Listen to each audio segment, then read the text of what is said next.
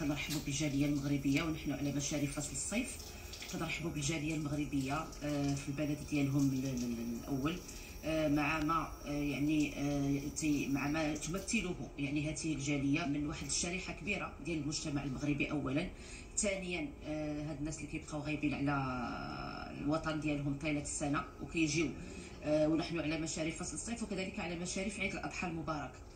وبالتالي آه، كنتمناو أن يعني الظروف ديال الاستقبال ديالهم تكون آه، على أكمل وجه. آه، بطبيعة الحال كانت هناك مجموعة ديال ديال التدابير اللي دارت.